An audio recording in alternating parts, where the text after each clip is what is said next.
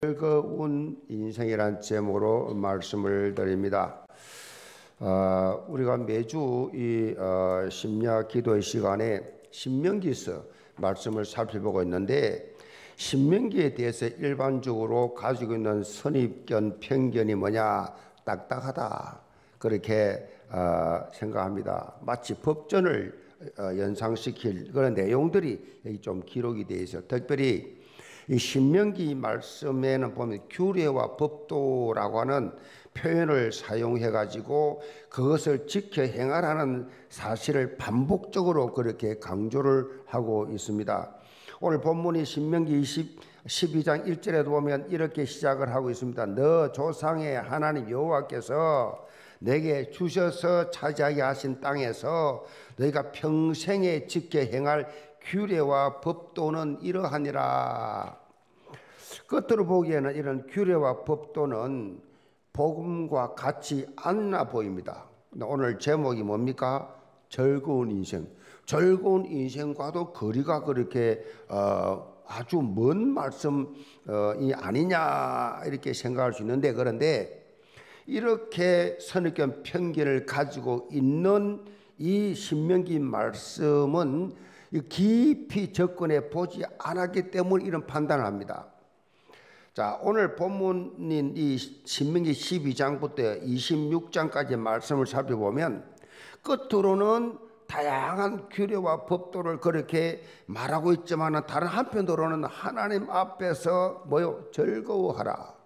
즐거워하라는 그 내용이 반복적으로 또 강조되고 있어요. 즐거워하라. 한마디로 즐거운 인생을 살아라. 아멘. 그렇게 여기서 어, 강조해요. 법 이, 법이 딱딱하고 엄숙한 분위기, 이걸 막 180도로 바꿔놔요. 즐거운 인생 살아라. 우리가 인생을 살면서 의무감으로 사는 거 힘들죠. 의무감. 나쁜 건 아니지만 의무감이라는 그 말 자체가 사람을 힘들게 하죠. 삶의 활력을 상실시키는 만약 의무감으로 결혼해가 결혼한다고 하면 의무감으로 결혼한다 하면 부부 관계에서 어떤 생동감이 넘치는 그런 활력 이게 없겠지요. 의무감으로 산다면.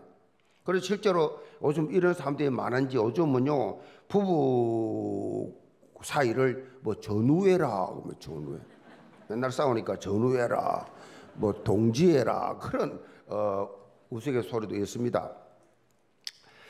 비단 이 부부 관계뿐만 아니라 이제 우리가 직장 생활하는 것도 그렇죠. 사회 생활 하는 것도 그렇죠. 그런 어, 생활 속에서 의무감으로 한다고 하면 매일매일이 많이 힘들겠죠. 의무감으로 하면. 어, 어떤 생산성 있는 그런 것이 나오기가 쉽지 않습니다. 학생들도 공부하면서 너무 의무감으로 공부를 해야 한다. 좀, 좀, 그러면 공부에 대한 흥미를 잃겠죠. 참 재밌다. 이렇게, 어, 힘들잖아요.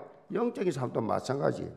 하나님의 뜻을 따라가는 것, 이걸 의무감으로 그렇게 접근하면 이 의무감 때문에 믿음이 성장이 안 되겠죠. 믿음 성장은 그냥 뭐 매일매일 닥쳐오는 이, 이걸 때문에 부담스러워 하겠죠. 의무감으로 접근한 것이 뭐라 그래요? 그걸 종교생활이라. 종교생활 하는 분들은요, 기독교든 뭐, 뭐, 불교든 천주교든 종교생활 사람들 특징은요, 굉장히 힘들게 다닙니다. 힘들게. 그 여러분 또 교회 다니면서 힘들면 그 종교입니다. 나 직분이 너무 힘들어. 그 종교예요. 그거 하지 마세요. 그거 하면요, 좋은 결과가 안 나옵니다. 결과가 좋은 결과 안 나오게 돼 있어요. 너무 감사하다. 너무 신난다. 너무 즐겁다. 이게 돼야 돼요. 이게 정상적 복음 안에서 복음으로 진행하는 신앙생활 직분이에요. 직분 때문에 시험 들고 낙심된다. 그 종교예요, 종교.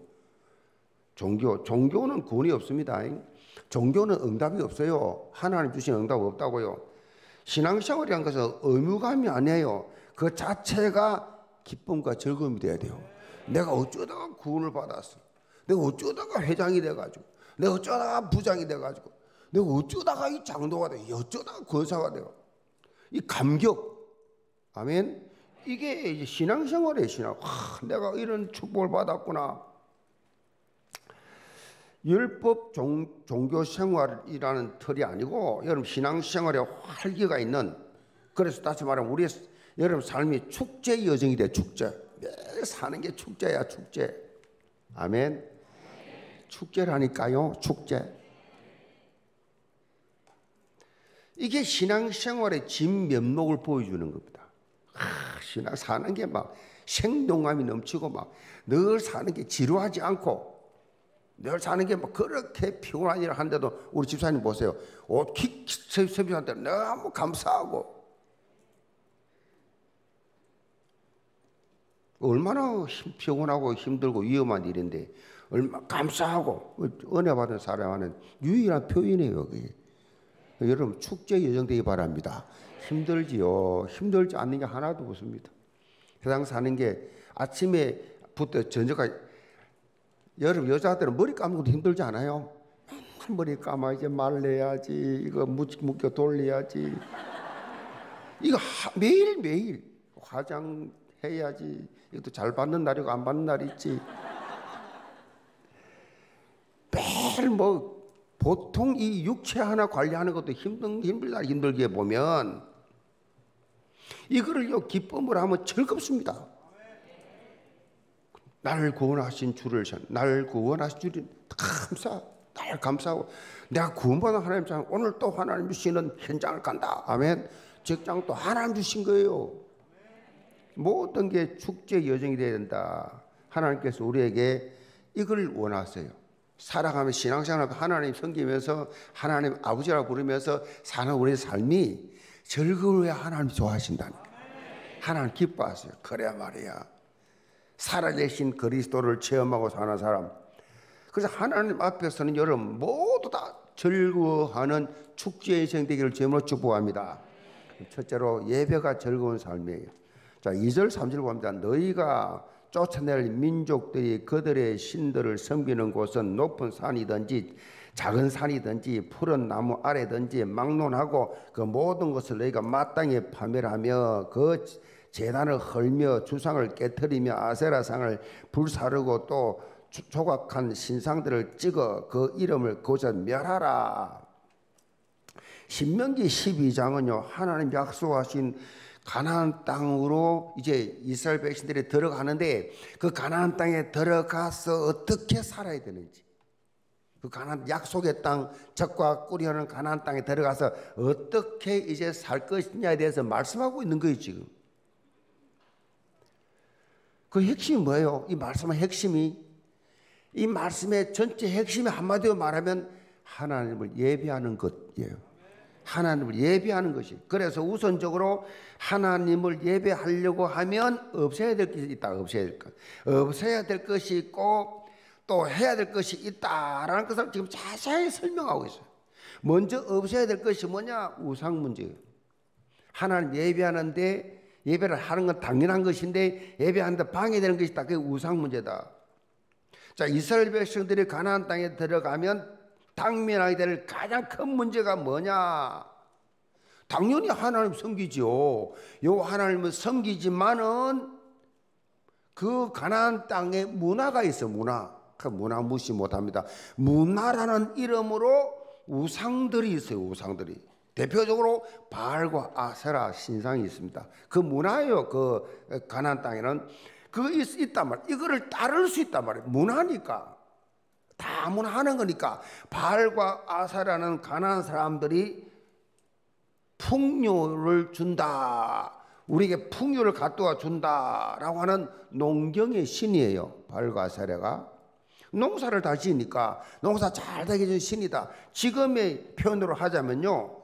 이 발과세라는 종교다원주의예요. 종교다원주의가 뭐냐? 뭐 쉽게 말하면 WCC예요.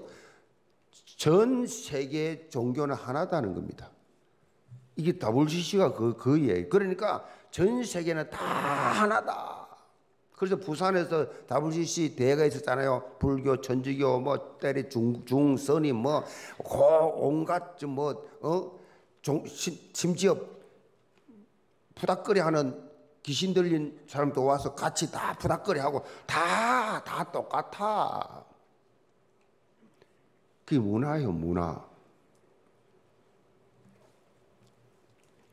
쭉 서가 있잖아요. 그죠? 여러분, 왜 교단이 이렇게 갈라진 줄 아세요? 갈라지고 욕하면 안 돼요. 바로 믿으려고 하는 거예요. 우리 우창승당이나 WCC 모든 종교 같다 하는 사람 우리 어떻게 같이 할 수 있어요? 그게 통합책이에요, 통합책. 아시겠어요? 통합, 뭐 통합. 이 앞에 한신입니다. 이 앞에 교회 옆에 한신, 한신대 출신, 한 신학, 한국 신학대학 출신들, 이 앞에 이 교회 앞에 이 교회. 다 같이 다 종교는 다 같은 거야. 그럼 말로 교회 나옵니까? 공기 좋고 물 좋은 저 절에 가지. 이게 요 종교 다원주의가 되어버렸어요. 이게 다 묘한 기독교 이 문화가 그렇게 형성돼요. 그래서 가나안 땅의 흑암 문화 가운데 물들면 안 된다.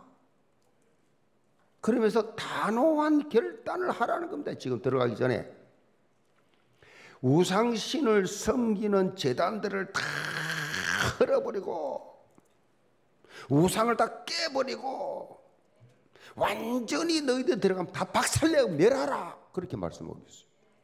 인정사정 볼 것 없이 다 멸해버려라. 무슨 말입니까? 영적인 삶은요 단호한 결단이 필요해요. 영적인 삶은 이래야 성장합니다. 신앙생활에서 걸린 거 박살내버야 돼 그냥. 아멘. 지금 또요 제사를 끊지 못하고 어정쩡한 스탠스를 잡고 있는 장로도 집사도 권사도 있어요. 내가 몇몇 듣고 있어요 지금. 집안에서 제사를 지내니까 장로가 돼가지고 제사 참석. 원래요 체리당이 됩니다.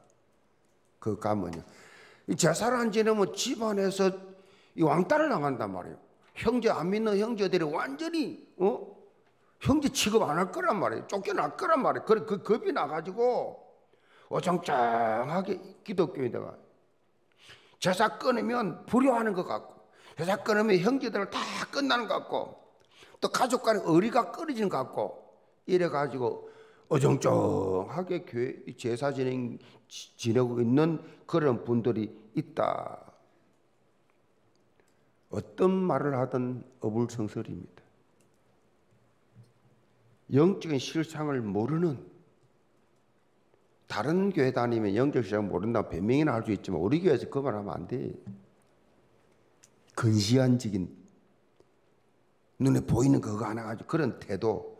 골전서 10장 1절에 뭐라 그랬어요? 하나님 말씀입니다. 무릇 이방인이 제사하는 것은 불신자가 제사하는 것은 귀신 앞에 하는 것이요 조상 앞에 하는 것이 아니에요 귀신 앞에 하는 것이요 하나님께 제사하는 것이 아니니 나는 너희가 귀신과 교제하는 자가 되기를 원하지 아니하노라 분명히 말했어요 여러분 귀신이 조상님을 섬기는 조상 앞에 효도하는 말 이게 귀신 앞에 하는 거라고 말하지 않습니까?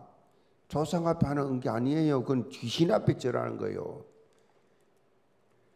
사실 우리 인생은요, 언제 어떻게 될지 몰라요. 잠시 있다 없어지는 안개예요. 내일 어떻게 될지 몰라요. 여유 부리면 안 됩니다. 다음에 뭐 좋은 세월 오면 하지. 여유 부리면 안 돼요. 가족 간의 유대 관계가 중요한 게 우선순위가 아니라 평상시 여러분 삶 속에서요 영적으로 단호한 결단하고 실행을 하면 어떻게 해요? 영적 변화가 이루어집니다. 하나님의 절대 주권 믿고 여러분이요 결단하면 흑암이 떠나가요. 흑암이 떠날 때는 어떻게 해요? 발악을 합니다. 발악을. 부모가 형제가 발악을 해요. 여러분 죽이니 살리니 발악을 합니다. 발악하는데 근데 그 겁먹지 말고 계속 기도하면 발악하던 귀신이 떠나고 나면 뭐가 와요? 평안이 옵니다. 평안이. 떠나고 나면 그 원수될 것 같았던 안 될 것 같았던 형제들이 그때부터 돌아오기 시작한다니까요. 일단 우상이 박살 나야 된다니까요. 참 평안하려고 하면 박살 내야 돼요. 제사가 끊어야 됩니다. 여러분이 앞서서라도 끊어내. 그래야 처음에는 난리 나지. 그러나 하나님이 살아계시니까 귀신이 발악을 해도 끝납니다. 순간. 여러분 기도 때문에. 아멘. 자, 오늘 우리 말씀 통해 우리는요, 선택받은 자에 대해서 하나님의 기대를 볼 수 있어요. 하나님 우리에 대한 기대가 있어요. 기대. 기대가 있어요. 하나님의 기대가 뭡니까? 바로 다른 거 아니에요. 하나님의 기대는 하나님을 사랑하는 거예요. 하나님을 얼마나 사랑하냐 신명기 6장 4절을 어디로 보면요. 이스라엘아 들으라. 우리 하나님 여호와는 오직 유일한 여호와시니 너는 마음을 다하고 뜻을 다하고 힘을 다하여 너 하나님을 뭐라 그러세요? 사랑하라 그래 사랑하라. 하나님을 사랑하시 바랍니다. 하나님을 사랑하라. 하나님은 그 누구보다도 하나님의 백성으로부터 사랑받기를 원하세요. 다른 거 다 싫고 나를 아버지라 부르는 자녀 하나님의 백성으로부터 사랑받기 원합니다. 그래서 얼마나 우리를 통해서 사랑받기를 원하시는지 신명기 4장 24절에 이렇게 말씀하셨어요. 너 하나님 여호와는 소멸을 하는 불이시오 질투하시는 하나님이시라 그랬어요.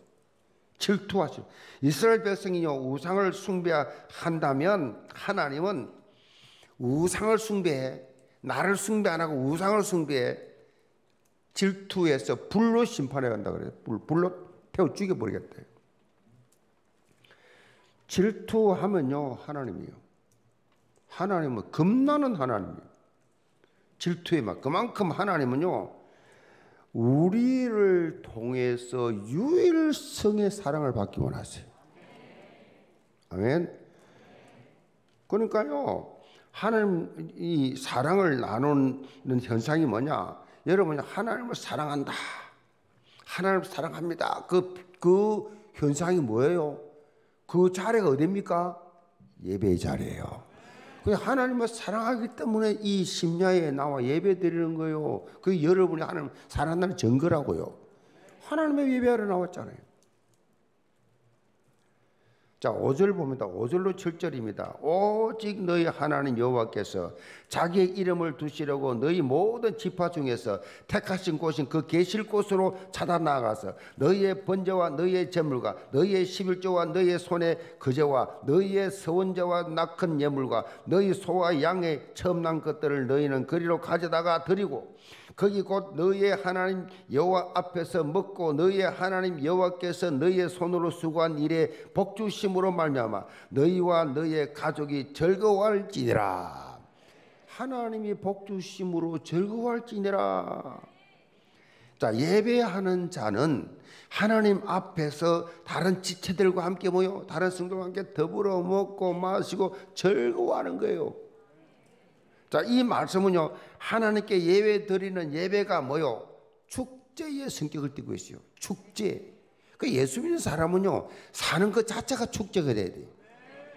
초상집 되면 안 돼요. 맨날 눈물 찔찔 흘리고, 그냥 그렇게 인상 쓰고 다는 게 아니에요. 막 그냥, 어, 종교생활 하다가 참고 참고 참아가 얼굴에 막 썩은 곰팡이 썩어가지고 그냥 저 천주교 수녀들처럼 그렇게 저 땡땡이 중들 그러면 안 돼. 여러분 수녀들 여러분 얼굴 자세히 봤어요? 저는요 공항에서도 이렇게 자세히 보면 얼굴이 팍 썩은 거 있죠 썩은 거 썩었다는 거 아세요? 잘 모르세요? 다음에 공항 가거든 수녀 얼굴을 한번 보세요 자세히 한번 보세요 절에 중들도 그런 좀 그런 사람 많아요 이거는 뭐 김이 끼었다 뭐 얼굴이 피부다 껌딱히다가 아니에요 썩었다 썩었다 얼마나 참고 이 종교 생활이 그렇게 힘든 거예요 우리는 뭐가 돼야 된다고요? 축제입니다. 축제. 자, 보세요. 초대교회 뭐 초대 축제 축제가 돼야 되는 이유 사도행전 2장 46절에 나오는데 날마다 마음을 같이하여 성전에 모이기를 힘쓰고 집에서 떡을 떼며 기쁨과 순전한 마음으로 음식을 먹고 하나님을 찬미하며 또 온 백성의 칭송을 받으니 주께서 구원 받는 사람을 날마다 더하게 하시더라. 초대교회 예배는요 한마디로 축제 축제 축제였다고. 그 우리 영교회가요 이 처음 개척할 때는요 맨날 먹었어요. 쓰레기가 그냥 얼마나 나온지 몰라. 모일 때마다 그냥 전교인 막 전적 참뭐 지금은 뭐 숙자가 이런 많아가지고 아무 데나 막 계속 축제 막 수요일이나 그럼 예배 끝나면 다 일어나서 같이 손잡고 찬양하고 축제 축제. 저는 심각한 거 싫어합니다. 저는 체질 자체가 워낙 노는 체질이라 큰 놀고 즐거 축제죠. 뭐 심각한 거 치라. 여러분요, 우리 예수 님자 성령의 사람은요, 막 심각하게 혼자요. 뭐 기도할 때는 혼자 있지. 근데 그게 아니에요. 초대기 보세요. 매올 때마다 축제했다니까. 여러분, 예배 자리에 올 때마다 즐겁게 오시 바랍니다. 즐거움이 넘치시기 바랍니다. 예배를 기다리면서 마음에 즐겁기 바랍니다. 뭐 마음에 뭐안 되는 것도 있겠죠. 하다 보면 뭐 잘안 되는 것도 이 사람이 사람 모이면 뭐 완벽할 수가 있습니까? 안 되는 게 있지만은 즐거움을 빼앗기지 마시 바랍니다. 내가 하나님 앞에 하나님 만나러 왔는데 하나님의 하나님 사랑한다 고백하러 나왔는데 이 즐거움 빼앗기면 안 되자. 즐거움 넘쳐야 돼. 그래 이 정상이. 그렇지. 너 즐겁게 살다 보니까 얼굴이 틀려요. 불신자들하고 얼굴이 하, 어? 그 얼굴이 나 감사가 넘치고 즐거움 넘치고. 아, 얼굴 잘생겼다 못생겼다 아니다 하니까 피부가 껌딱이다가 아니, 아니라니까요. 날마다 햇볕 보는 사람은 껌었지 어쩔 수 어쩔 수 없잖아요. 그게 아니잖아요. 즐거움이 넘치 이 정상이에요. 제가 볼 때 코로나 19로 인해 가지고 이 대면 예배에 대한 사모함 이게요 훨씬 커졌어 우리 교인들이 이 못 예배 못 드리고 그냥 이 인터넷 온라인 예배 드리다가 나올 그 성도들이 함께 예배를 싶어 그 마음이 간절한 것을 느낄 수 있었다니까. 얼마나 큰 축복이요. 얼마나 큰 기쁨입니까? 지금 우리의 모임이 100% 자유롭지는 못하지만은 지금 우리가 뭐 예배 끝나고 나면 뭐 그렇게 다 뭐 식사하지 마라 하라니까 못하지만은 웃기는 거예요. 이것도 식당마다 꽉꽉 찼는데 우리만 못하게 교회에서 식사하지 마세요. 모임을 이것도 빨리 해결되도록 기도하시 바랍니다. 어려울수록 기본에 미쳐라는 책이 있습니다. 어려울수록 기본에 미쳐라. 진정한 성공의 비결이 뭐냐? 기본입니다. 기본에 충실해야 성공이에요. 기본. 기본으로 돌아가야 돼. 기본. 어, 이걸 강조하는 책인데요. 영적인 삶에 있어서도 기본이 중요합니다. 기본. 영적인 기본의 삶이 뭐예요? 영적 기본의 삶 그게 예배예요, 예배. 그래서 A.W. 토저 목사님 이렇게 말해서 하나님께서 사람을 부르셔서 먼저 예배자로 만드시고 그 후에 일하는 자로 만드신다. 예배 예배하고 나서 그 만들 그리고 그리스도인들의 모든 실패는 예배의 영광을 경험하지 못한 데서 기인한다 그랬어요. 왜 실패하느냐? 예배의 영광, 예배 실패한 거예요. 그럼 실패하는 겁니다. 예수 믿는 사람은 그렇습니다. 예배 실패는 모든 게 실패예요. 그래서 여러분이 말이죠. 뭘 결정하고 할 때 여러분 영적 상태를 빨리 스스로 판단해야 돼요. 내가 지금 성령 충만한 상태, 예배가 성공하고 있는 상태, 기도가 되어지는 상태 때 결정하는 건 성경 인도예요. 그런데 예배도 잘 안 되면서 그냥 내면에는 세상 욕심을 가득 차가지고 그냥 그냥 뭐 불평뿐만이 가득 찼는 데서 뭐 결정하면 무조건 실패합니다. 누구 말 듣고 하면 안 돼. 여러분이 결정할 때는요 성령의 인도받고 하시 바랍니다. 얼마나 결정할 게 많아. 눈만 뜨면 결정할 게 많은데 눈만 뜨면 결정해야 되는데 그 결정을 할 때 내 영적 상태를 보고 결정하라니까요. 영적 상태가 안 좋을 때는 여러분 결정하면 안 돼요. 더 기도하세요. 내가 충만할 때 그때 인도가 된단 말이에요. 인도가 인도가 된단 말이에요. 그래서 신앙생활의 초석이 뭐냐? 가장 중요한 예배입니다. 예배. 그 예배를 빠졌다. 예배를 중요하게 생각하지 않는다. 볼 것도 없어요. 예배에 성공하느냐 못하느냐 그 인생을 좌우합니다. 인생을 좌우해요. 그리고 무엇보다도 예배를 통해서 참된 뭐요? 기쁨과 감사, 즐거움. 기쁨과 감사, 즐거움이 넘쳐나야 내가 살고 내가 살아야 다른 사람 살릴 거 아니에요. 내가 기쁨과 감사, 즐거움이 없는데 누구를 살립니까? 누구에게 이 복음을 말할 거예요? 내가 증거가 있어야지. 예수 예수 믿는 것 받은 증거만 도다. 아멘. 우리 찬송 불렀잖아요. 예수 예수 믿는 거 받은 증거 많도다. 우리 한경모도 성도들 매 예배 때마다 이유 없어 나를 살리고 아멘 나를 살리고 다른 사람 살리는 예배의 즐거움 이것을 체험하시기 바랍니다. 그래서 영적 무먼트를 여러분을 통해서 예배하는 자라 성공하는 사람 특징이 있습니다. 이 사람들 통해서 교회 영적 분위기가 바뀌었죠. 영적 무먼트가 납니다. 이런 사람들을 뭐라 그래요? 그리스도의 절대 제자라고 합니다. 이제 하나님께서 이제 내년에는 더 큰 역사가 날 줄로 믿습니다. 그래서 절대 제자들이 나서 그 영적 무먼트, 성령의 역사를 바람 일으키는 이런 것을 기대하고 여러분을 또 기도하시길 바랍니다.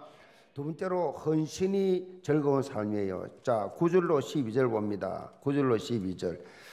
너희가 너희 하나님 여호와께서 주시는 안식과 기업에 아직은 이르지 못하였거니와 너희가 요단을 건너 너희 하나님 여호와께서 너희에게 기업으로 주시는 땅에 거주하게 될 때에 또는 여호와께서 너희에게 너희 주위의 모든 대적을 이기게 하시고 너희에게 안식을 주사 너희를 평안하게 거주하실 때에 너희는 너희의 하나님 여호와께서 자기 이름을 두시려고 택하실 그곳으로 내가 명령하는 것을 모두 가지고 갈지니 곧 너희의 번제와 너희 희생과 너희의 십일조와 너희의 손의 거제와 너희의 여호와께서 여호와께 서원하는 모든 아름다운 서원물을 가지고 가져가고 너희와 너희의 자녀와 노비와 함께 너희의 하나님 여호와 앞에서 즐거워할 것이요 너희 성중에 있는 레위인과도 그리할지니 레위는 너희 중에 분깃이나 기업이 없음이니라. 자 모세는요 가나안 땅에서 하나님께 예배할 장소와 방법에 대해서 말하고 있어요, 지금. 자, 핵심이 뭐냐? 하나님이 택하신 장소에서 하나님이 원하시는 방법대로 예배 드려라. 당시 가나안 땅에는 우상 신당이 만연했어요. 우상 신당이. 그 신당 산에 있다고 해서 산당이라고 하는데 산에만 있는 게 아니고 동네마다 다 있었어요. 어째 그 나라 그러냐? 일본 가보세요, 일본. 일본 가보시라고요. 일본 가면요, 도시 시내, 막, 할 것 없이, 뭐, 그냥 호텔 옆에 전부 다 절간이 있습니다. 절간이 있다고. 놀릴 정도로 많아요. 그냥 뭐 다 시내 꽉 있어요. 일본 저 망합니다. 핵폭탄 맞은 유일한 나라도 나라기도 하지만 저 나라는 좀 이명기 박현 선교사 말 들어보세요. 한 집에 한 명이라 정신병자라는 게 아니 목사님 한 집에 두 명 이상입니다. 이번에 저번에 들었잖아 갔을 때 그 정도로 이 귀신을 섬기다 보니까 근데 일본에 가보면요, 일본 사람들이 이렇게 보면요, 이게 버스를 탄다, 저저다 길 간다, 식당에 간다 이렇게 보잖아요. 거의 3분의 2는 좀 이상하게 보여요. 모습 자체도 틀려요. 여러분처럼 깔끔하지 않아요. 머리도 또만 무슨 좀 이상하게 이상해요. 그 내가 물었어요. 저 사람들 여자들 좀 머리가 왜 저러나 여자들이 좀 머리를 비싸서 미장원 못 간대요. 남자들 머리가 전부 고슴도치 같대요.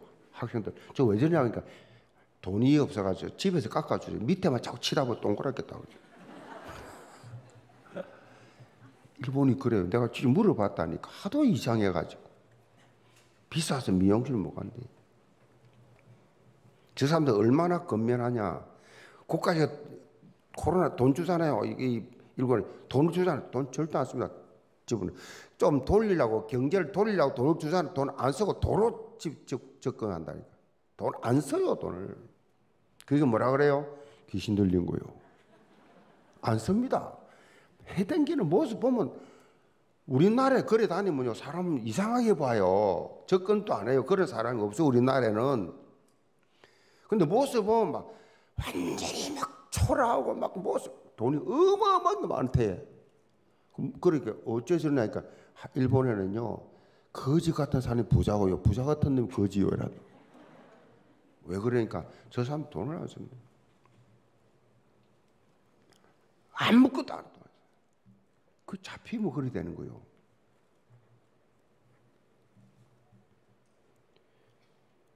이 지금요 이 산당이 이 가나안 땅에 이렇게 많은 온 것이 우상이 우상 이 가나안 땅 자체가요.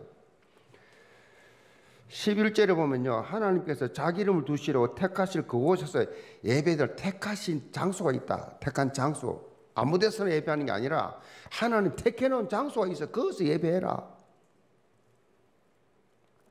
그 택하실 그곳은 구체적으로 다윗 시대 이전은 실로의 해막을 가리키고 다윗 시대 이후에 예루살렘 성전을 가리킵니다. 구약 시대는 이스라엘 백성들이요 중앙 성소에서만 하나님께 나아가고 수 있었는데 이건 마찬가지예요. 신약 시대는 뭐요? 이 중앙 성소가 뭐요? 신약 시대는 뭐요? 오직 예수 그리스도를 통해서만 하나님께 나아갈 수 있어요. 예수 그리스도를 통해서만 하나님께 예배할 수 있다는 거. 예수 그리스도 통하지 않고 예배 가짜요. 예수님께 나 하나님께 나아갈 수 있는 유일한 길이 뭐요? 하나님 만난 유일한 길은 예수 그리스도입니다. 그래서 예수가 그리스도한 사실을 좀 알고 예배해야 된다는 얘기예요. 그래야 여러분 무너지지 않아요.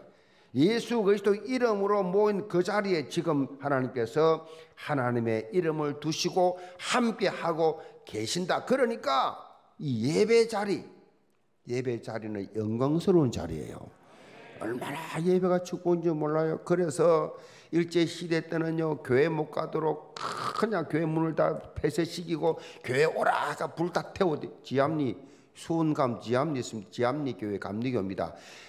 하도 교회 오니까 못 가게도 못 가게 하더니 이것들이요 하루는 그 교회 예배 다 들어 해놓고 밖에다 집을 쫙 돌려가지고 불을 확 질러 본 거요. 거기서 타 죽은 사람이 40여 명입니다. 그날 저녁에 예배 드리러 나온 사람 예배를 못 드리면 예배 못 드려. 예배 교회 가서 뭐 정치를 말합니까? 교회는 그런 거 아니잖아요. 그런데 일제 시대 때 북한 사람들 일사올 때 내려 예수 믿는 놈만 잡아주니 교회 못 나. 교회 폐쇄입니다.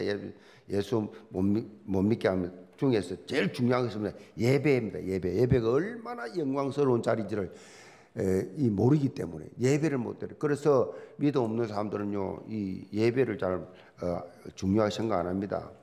자, 본문 12절에 보면 하나님께서 택하실 그곳에 나갈 때 어떻게 나가야 되는지 구체적으로 말씀하고 있어요. 너희의 번제와 너희 희생과 너희 11조와 너희 손의 거제와 너희가 여호와께서 원하시는 모든 아름다운 선물을 가져가고 자, 하나님께 예배를 드려갈 때에 예물을 가지고 나가라고 말씀하고 있어요. 특별히 번제가 뭐예요? 번제, 번제. 번제는요, 가죽 짐승의 가죽을 벗기고 각을 떠가 불태우는 것이 번제예요. 그 하나님께 드리고 짐승을 각을 떠서 껍데기 벗기고 각을 떠가지고 다 창자 다 끄집어내고 각을 떠서 하나님께 드리라. 이 무슨 말입니까? 번제 특징은요 완전히 드리는 겁니다. 완전히 예배가 뭡니까? 완전히 드려야 돼. 내가 아직 빨리 가야 되는데 빨리 바쁜데 그건 예배 아니에요. 그 실패할 수밖에 없어요. 딴 생각하고 있고 딴 계산하고 있으면 그건 예, 각을 완전히 못 때리는 겁니다. 완전 헌신. 이걸 요구하는 겁니다. 하나님은.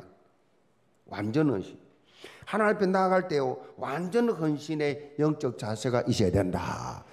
두만 품지 마라. 완전 헌신, 올인. 그리고 11조에 대해서 강조하고 있습니다. 하나님 앞에 나아갈 때 온전한 11조를 가지고 나가야 한다고 말씀합니다. 어떤 사람은요, 11조가 구약 율법 규정이고 복음 시대에 있는 교회가 강조해서 안 된다고 주장합니다. 그런데 이거는 속는 거예요. 마태복음 23장 23절에 보면 예수님께서 외식하는 서기관들과 바리새인들을 책망하는 장면이 나와요. 외식하는 바리새인들 예수님 책망하는데 보세요. 화 있을진저 외식하는 서기관들과 바리새인들이여 너희가 박하와 회향과 근처의 11조는 들이되 율법에 더 중한 바 정의와 긍휼과 믿음 버렸도다. 그러나 이것 이것도 행하고 저것도 버리지 말아야 할지니라. 자, 독특한 게 뭐냐면 예수님께서 서기관나 바리새인들이 외식은 책망하셨지만은 그들의 11조를 구별하여 드린 것은 그대로 행하라는 말씀이에요. 11조는 그대로 행하라. 11조는 예나 지금이나 하나님께 드리는 예물의 가장 기본적인 출발점이라는 출발, 출발. 11조는 내 것이 아니에요. 하나님 거라고요. 그러니까 11조를 도둑질 하냐고. 아, 11조 안 되는 거 성경 말하기 3장 10절 예보면 도둑질이라 그래요. 왜내 건 너가 안 들이 아, 너가 안 주냐? 하나님 말씀이죠. 11조 드리는 것은요. 내 삶에 대한 뭐요? 하나님의 절대적 주권적 역사를 고백하는 것이에요. 하나님 내 삶의 모든 것 다 하나님 손에 달렸습니다. 라는 고백이 11조예요. 어떤 사람이 11조를 드리기 시작하면서 여섯 번 놀랬다는 겁니다. 11조 드리면 여섯 번 놀, 뭘 어떻게 놀냐? 첫째, 11조를 드림으로 자기 믿음이 더 확고해지면 놀랬고, 둘째, 11조를 드리고는 넉넉하게 11조를 드리고도 넉넉하게 살아가는 모 삶을 되고 놀랬고, 세 번째, 하나님의 사업을 위해 그렇게 많은 돈을 들을 수 있다는 자신의 능력에 대해서 놀랬고 네 번째 11조를 들여보내 물질에 매여 있는 담력이 생긴 것에 놀랐고 묵잘묵잘 하다가 이제는 거기다 자유하게 된 건 놀랐고 다섯 번째 11조를 드리면서 자신의 생활이 물질적으로 부유해지는 것을 보고 놀랬고 여섯 번째 이런 축복을 진작 받을 것을 왜 이제 받았는가 후회하면서 놀랬다. 지난 오늘 조금 전에 어, 우리 사무실에서 보고를 했습니다. 지난주 보고 매주 보고합니다만은 지난주 보고 장로 시무장로 말합니다. 시무 뭐 협동 무슨 원로에 다 빼고요. 시무장로 129명 중 93명 출석, 75명 헌금. 129명 시무장로인데 교회 출석이 93명이고 헌금한 사람은 무슨 헌금 했든 간에 75명. 이렇게 돼 있어요. 이렇게 나와 있더라고요. 장로가 시무 장로인데 193명이 출석을 했는데 헌금은 없어. 22명 아예 헌금 안 했어요. 75명. 권사 시무만 말합니다. 603명 3, 중에서 320명 출석, 217명 헌금. 안수집사 277명 쪽 133명 출석, 103명 헌금. 우리 교회가 얼마나 하나님 앞에 정직 정확하게 하고 있는지 아세요? 한 사람 한 사람 세밀하게 기도하고 세밀하게 분석하고 왜? 그 육체 상태 알아야 되니까. 아, 이거 내 하나쯤이야. 뭐, 나가단다. 알게 뭐야. 천만의 말씀 다 알고 있습니다. 어느 장로님이, 어느 집사님이, 어느 권사님이, 어느 성도가 교회 나왔는지 안 나온지, 헌금하는지 하는 걸다 보고 있다니까. 하나님 더 잘 아시겠지만, 여러분. 믿음이 구원의 문을 여는 열쇠고요. 믿음이 구원의 문을 여는 열쇠고 기도가 성의 능력의 힘을 입는 열쇠라고 하면 온전한 11조는 온전한 11조입니다. 대강 아닙니다. 온전한 11조는 하늘 문을 여는 축복의 열쇠다. 아멘. 이걸 여러분 아시고 한 분도 빠짐없이 여러분 기쁨으로 하나님 앞에 들으시 바랍니다. 축복받으라고 하는 말이 축복받으라고 하는 말씀. 제가 체험하고 하는 말씀이에요. 오늘 본문 7절로 12절에 보면 언약 공동체의 구성 모두가 원리스가 되어서 하나님께 즐거운 마음으로 헌신할 것을 말씀하고 있어요. 즐거운 마음으로 들으라. 즐거운 마음으로. 인색한 마음 하지 말고 억지로 하지 말고 즐거운 마음으로. 이렇게 헌신도요 즐거운 원식이 돼요 즐거운 원식. 아멘. 여러분요 밥을 한 끼 사더라도 기쁨과 즐거운 마음으로 한 끼 사면 얻어먹는 사람도 기분 좋고 좋잖아요. 억지로 막 아까워가지고 억지로 싸고 싸고 싼 걸 골라가. 먹어도 기분 나빠요 먹어도 기분 나빠. 즐거운 마음 된장찌개를 한 간에 먹더라도 즐거운 마음으로. 아멘. 즐거운 마음으로. 역대상 29장 보면요 성전 건축을 위해서 다윗 왕과 지도자 백성들이 하나같이 자원해서 하나님께 드리면서 다윗이 이런 고백합니다. 나와 내 백성이 무엇이기에 이처럼 즐거운 마음으로 들을 힘이 있었나이까? 모든 것이 주께로 말미암아 사오니 우리가 주의 손에서 받은 것으로 주께 들었을 뿐이니이다. 아멘 주님 주신 거는 되는 것 뿐이에요. 얼마나 멋진 고백입니까? 내게 어디 있어요? 이건희 씨 보세요. 몇 조 남기고 갔잖아요, 그냥. 서지도 못하고 젊은 나이에. 주님 주신 것으로 주님께 드렸을 뿐입니다. 자랑할 것도 없고, 교만할 것도 없고, 그저 감사함으로 드릴 수 있다는 거 자체가 감사하다. 저는 매주 체험합니다. 아시겠어요? 영계 모든 성도들 이런 믿음의 고백을 할 수 있는 즐거운 헌신의 삶 속에 들어가시 예물로 축복합니다. 결론 8절을 봅니다. 8절. 우리가 오늘 여기에서는 각기 소견대로 하였거니와 너희가 거기에서는 그렇게 하지 말지어다. 자, 이 말씀은요. 즐거운 인생을 사는 비결을 핵심적으로 요약한 말씀입니다. 각기 자기 소견에 옳은 대로 사는 것이 아니다 말이에요. 자기 생각대로 자기 판단대로 사는 것이 아니라 하나님께서 말씀하시대로 살면 된다는 것입니다. 하나님 말씀대로 살아니 성경대로 그러면 하나님께서 모든 것을 뭐요 책임져 주겠다는 책임. 신명기 11장 13절로 15절을 보면 이 사실을 밝히고 있어요. 신명기 11장 10, 13절로 15절을 같이 한번 읽어봅시다. 같이 같이 시작. 내가 오늘 너희에게 명하는 내 명령을 너희가 만일 청종하고 너희의 하나님 여호와를 사랑하여 마음을 다하고 뜻을 다하여 섬기면 여호와께서 너희의 땅에 이른 비 늦은 비를 적당한 때에 내리시리니 너희가 곡식과 포도주와 기름을 얻을 것이요.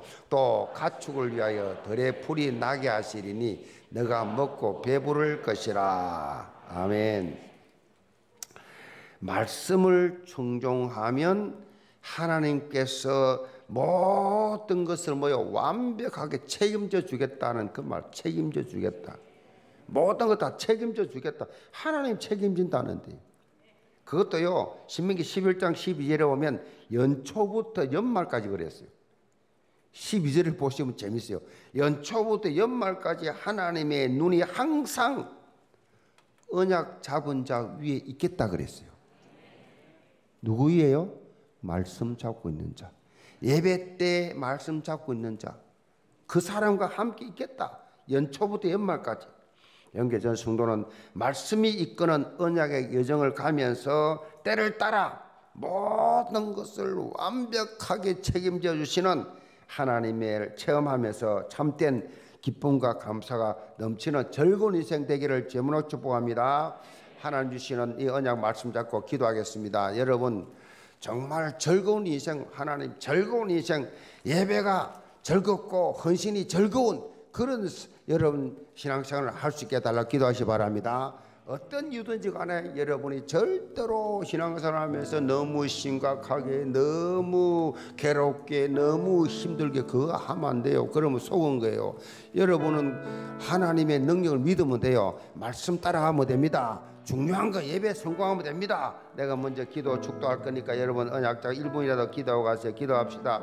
아버지 하나님 오늘 이 밤에 우리 영계 성도들 정말로 예배 성공해서 인생 성공하게 하여 주옵소서. 즐거운 마음으로 주님 앞에 나와 즐겁게 예배하고 즐거운 마음으로 돌아가 즐거운 삶을 살며 많은 사람들 앞에 예수 향기 바라는 하나님의 사람들이 되게 도와 주옵소서. 날마다 주님이여 우리의 삶은 늘 불안과 염려와 초조와 끊임없는 피곤과 문제들이 닥쳐오지만은 여기에서 가장 중요한 거 예배 순공의 특징이 하나님의 언약의 말씀 잡고 뛰어넘어 사건 문제 뛰어넘어 그것을 다스리시는 하나님을 바라보는 큰 믿음을 허락하여 주옵소서.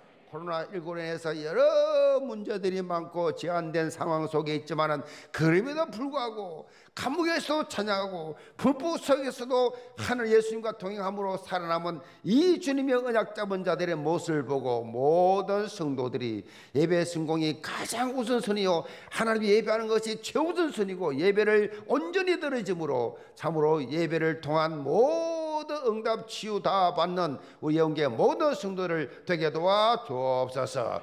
지금은 우리 인생의 모든 문제 해결되시는 예수 그리스도의 은혜와 하나님의 살아가심과 성림 역사하심이 참으로 복음 안에서 예배 성공으로 인생 즐거운 인생의 삶을 살기 원하는 모든 성도들 가정과 생각과 자녀과 사이구에 파수 현미하는 모든 성사람들 해외지계 모든 성도를 자라는 랩런트들 머리 위에 지금부터 영원까지 함께 계실지어다. 아멘